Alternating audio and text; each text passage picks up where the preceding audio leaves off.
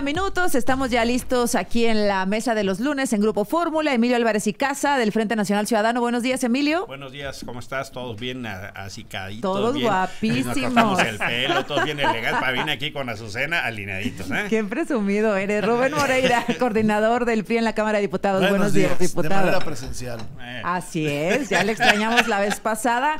Este, No, lo digo por otros que por otros que aparecen en el tablero. Ah, no los están. fantasmas, los duendes, Los ¿verdad? duendes, Del los de los Yankees y no de es la primera vez, ¿eh? No, no, No es la fue- primera no vez la que hay duendes vez. ahí en, en el No, Congreso. en esta legislatura es la primera vez al Sí, parecer. sí, sí. Raúl eh, Bolaños del Partido Verde, ¿cómo estás, Raúl? Susana, qué gusto saludarte, a mis compañeros, a mi colega Rubén Moreira, que ahora se integra otra vez. Qué gusto estar con ustedes. Este, qué bárbaros, es que no dejan ir una.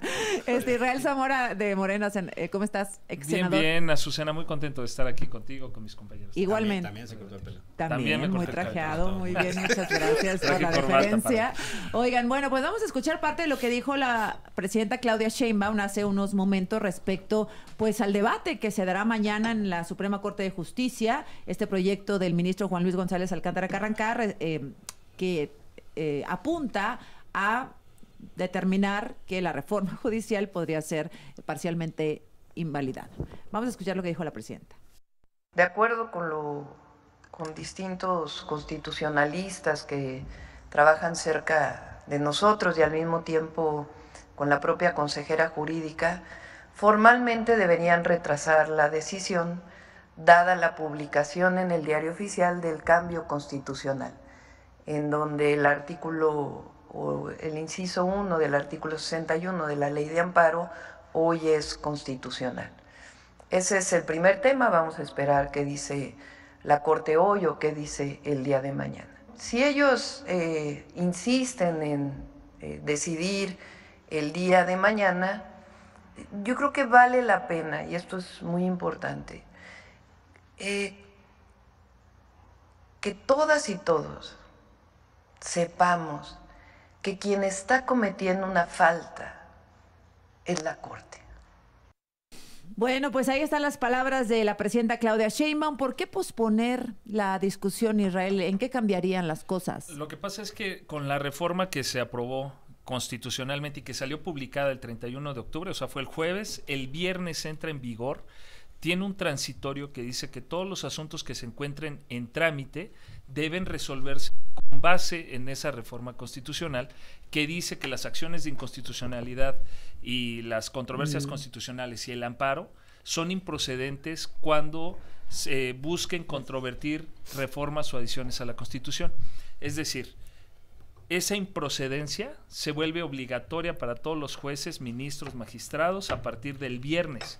Por lo tanto, los asuntos que están en trámite, incluyendo las acciones de inconstitucionalidad que presentó precisamente el PRI, el PAN, MC, etcétera, eh, deben de sobreseerse porque son improcedentes según esta reforma constitucional. Sobreseer quiere decir cerrar el caso, ni siquiera entrar al estudio del fondo. Desechar, adiós, se desechar, acabó. sí, porque hay una causal de improcedencia a nivel constitucional.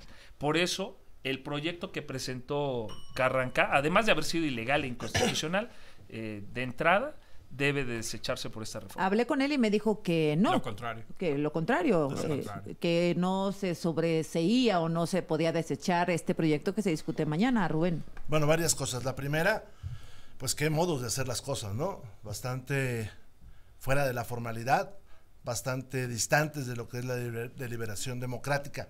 Fíjate que en el 2016, Andrés Manuel López Obrador, que era presidente de Morena, presentó una acción de inconstitucionalidad y en eh, un recurso de reclamación señaló tres cosas. La primera, que sí se podía eh, revisar la constitucionalidad de reformas constitucionales. La segunda, que se afectaban los derechos humanos, que es ahora el caso. Y la tercera y muy interesante, él se quejaba de que tan solo un mes las legislaturas de los estados se habían pronunciado. Ahora fue en 24 unas horas. horas. Es un total descaro. Ajá. Y si a esto sumas que ellos se asumen representantes del pueblo, que no lo es, tienen el 54% de la voluntad popular, se quedaron con más, se llevaron senadores, que eso también es burlar la voluntad popular, y ahora aparecen fantasmas en el tablero, pues todo esto está muy desasiado. Esperemos a ver qué dice la Corte, como en cualquier democracia occidental. Imaginemos que la Corte resuelve que es inconstitucional. ¿Le van a echar las tanquetas? Porque eso es lo que pareciera, ¿no? Porque si bien el legislativo o el ejecutivo dice no voy a resolver, en el judicial sí se van a tener a la sentencia que ellos mismos propongan. Creo que sigue sin entenderse, Emilio, la magnitud de la decisión de mañana, la relevancia de la Suprema Corte. Si se aprueba el proyecto del ministro González Alcántara Carrancá y no acata el Poder Judicial y el Legislativo, ¿cuáles son los escenarios en la vida real a los que nos podemos enfrentar? La, entrevista que le dis, que te dio el eh, ministro Juan Luis González Alcántara es, es muy revelador. Incluso el escenario que ahora nos presentaste con el diálogo de la, presentación de Claudia Sheinbaum, era justo ese escenario. Es decir, ya se había causado instrucción, ya estaba cerrada. Incluso lo dijo, pueden hacer una nueva reforma constitucional si quieren, pero la interpretación la hace la Corte. Y previó este, exactamente este escenario en tu conversación. Y lo que dijo el ministro tiene que ver justo con una crisis constitucional. Lo que eso puede implicar no solo es una crisis de confianza, no solo que la presidencia reitere el desacato, es decir, no han obedecido jueces, pero no obedecer a la Suprema Corte va a prender todas las alertas internacionales de que México entra a una etapa de república bananera. No se respetan las resoluciones judiciales no se respeta la Suprema Corte. Ningún inversionista va a tener confianza después de si Claudia Sheinbaum decide hacer eso. Mañana puede ser un día quiebre para México en términos de la no atención neutral de desacato por parte de la presidencia y que, a ver qué pasa en las elecciones de Estados Unidos. ¿Qué quiere decir eso? Que no hay respeto a las instituciones, que una mayoría espuria, efectivamente, la que tiene Morena y sus aliados en la Cámara de Diputados, están llevando a México al camino del autoritarismo. Raúl. ¿Qué dices? Gracias, Azucena. Mira, yo creo que primero no hay que adelantarnos a lo que va a suceder en la Corte. Yo tengo esperanza y fe que va a haber ministros que se van a pegar a una correcta interpretación judicial y que van a hacer lo que varios de sus pares que todos los que estamos en esta mesa respetamos, como el ministro Aguirre Anguiano, Mariano Azuela, Juanito Díaz Romero, Gudiño Pelayo, Fernando Franco, la propia Margarita Luna Ramos y Pardo Rebolledo, ya establecieron en precedentes anteriores que no se puede impugnar las reformas constitucionales. Es que confunden porque dándole la, o no. Aquí, aquí yo me puse a estudiar la posición de varios ministros respetables, incluso que ellos aceptaban su militancia en Acción Nacional, como miembros activos de Acción Nacional, que decían que no se podía impugnar una reforma constitucional. ¿Pero como una definición de la Corte? Como una definición personal de cada uno de esos ministros. ¿Por qué? Porque iba en contra del 135 constitucional. Vayamos un poco atrás. La Constitución de 1824 y de 1836 eran rígidas, no se podían reformar.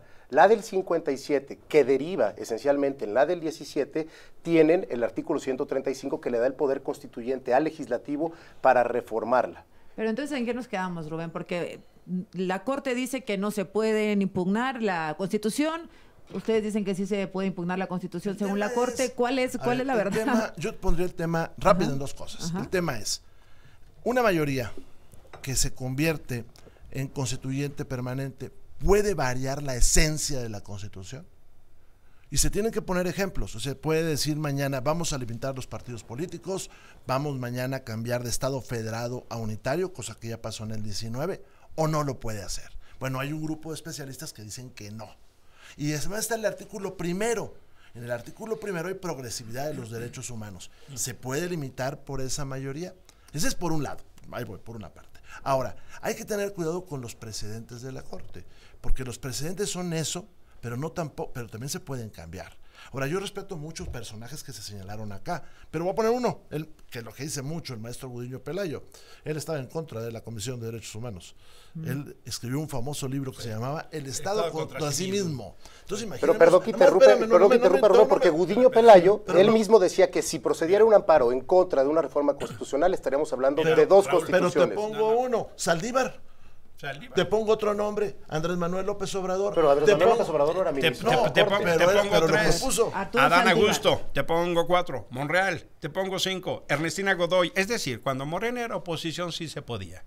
Y ahora que son gobierno, no solo no se puede, tratan de blindar constitucionalmente, legalmente e espuriamente cualquier mecanismo de defensa de lo que ellos consideran. Lo grave que aquí está es que Morena ha tenido un proceso de regresión autoritario, Morena y sus aliados, porque aquí está el verde. El fenómeno de regresión es gravísimo. Y lo que esto implica es que solo existe el México que ellos quieren. No hay posibilidad. Y en caso de controversia, para eso tenemos los tribunales. Y la última instancia es la Corte. Y ahora tenemos un gobierno que se siente en capacidad, porque se le pega la gana, no atender a los jueces. Mañana podemos ver el fin de la Suprema Corte. ¿Eh? ni más ni menos. Porque si, si no atienden a lo que... Entonces solo van a atender, lo hemos dicho acá en otras ocasiones, lo que se les pegue la O sea, gana. testimonial la Pero opinión no de la hiciste, Corte. además De- no lo hiciste, Tenemos- pero lo pensaste. Ellos también quieren aislar a México del mundo. Quitaron lo, que, iban a poner, ¿eh? Lo que genera incertidumbre es que un juez, sin fundamento legal, decida cosas que son absolutamente inconstitucionales e ilegales. En- en lo opinión que del dijo, señor, ¿verdad? no, mira, lo que En dijo Alcántara. Carrancá es un absurdo jurídico. El proceso va incluso a la ejecución de la sentencia. Es lo que está mintiendo, así como mintió, por ejemplo, sale Norma Piña con Adela Micha y dice que, se reuni- que no se reunieron en la casa de Carrancá y luego aquí te reconoce él que sí prestó su casa. Ahí está mintiendo la ministra presidenta de la Suprema Corte.